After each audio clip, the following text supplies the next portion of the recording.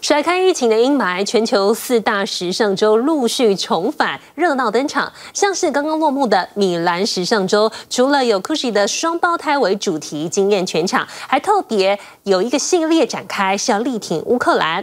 而巴黎时装周也正如火如荼举行当中，不只有法国的年轻品牌找上了科技龙头 Google 来联名合作，还有另外一个奢侈品牌邀请了传奇天后雪儿压轴现身，迪奥尔跟。圣罗兰的女装大秀现场也是星光云集，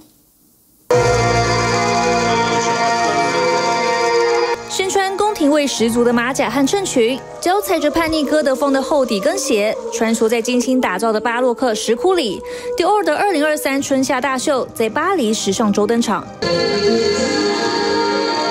宣展台下同样抢镜，有品牌大使娜塔莉波曼、南韩 BLACKPINK 成员金智秀以及人气偶像车银优等国际明星、超模和网红共襄盛举。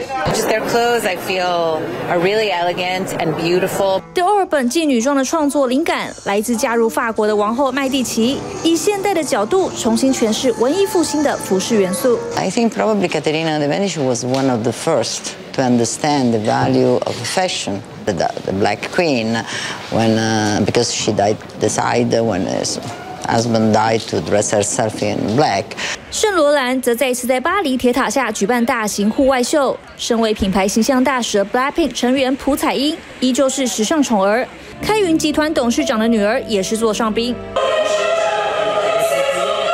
新一季设计从宽肩的版型修长了连身剪裁，加上分量感十足的饰品，延续神秘又奢华的气息。Throughout the years, every single show was better than the previous, and it keeps us surprising us. 风格大胆前卫的 Bowman，本季则充满浓浓古典宫廷风，没想到更让全场惊喜的在后头。七十六岁的不老天后雪儿，身穿科技感十足的最新女装，和创意总监牵着手压轴出场谢幕，一边还轻松跟着自己的歌对嘴唱。来自日本的 Unreal Age，时隔两年半再次踏上实体的巴黎伸展台，被誉为当代时尚最具革命精神的日本设计师森永邦彦也亲自现身谢幕。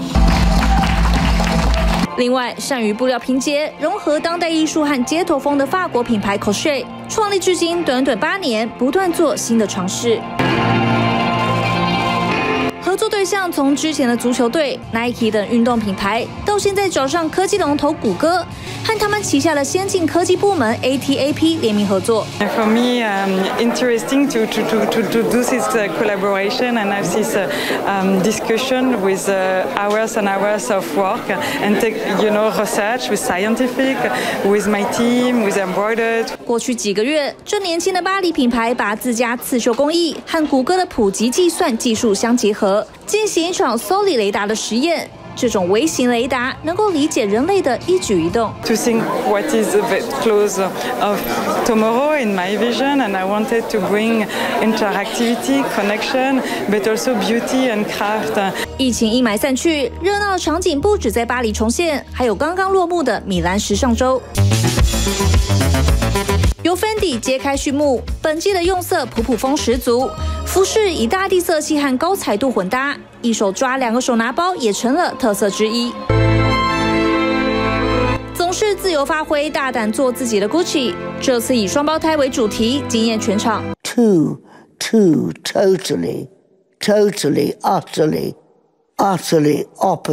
共六十八对双胞胎走在伸展台上，最后牵着手谢幕。Gucci 的创意总监想借此向这动荡不安的世界传递团结精神。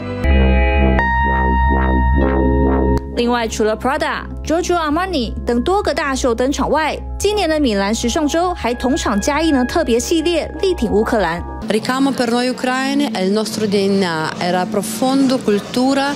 这位乌克兰设计师把传统的刺绣技术打造出这十套独一无二的服饰，尽管是在米兰设计，却通通是在乌克兰缝制。使用大量的棉花、麻布、丝绸等原料，再搭配蓝白黑等经典颜色。Le mende strategiche che adesso vedrete sono delle donne che arrivate dall'Ucraina. На жаль, я не вмію вишивати, але мої батьки, моя мама, моя бабуся, вони вишивають. 如今，身为全球四大时尚周最后一站的巴黎，十月四号闭幕之前，还有多场精彩大秀等着上场。TVB 新闻综合报道。掌握全球情势、国际新闻，全新选择 YT 频道 TVBS 国际 Plus，扩大 场视野。欢迎订阅并开启小铃铛。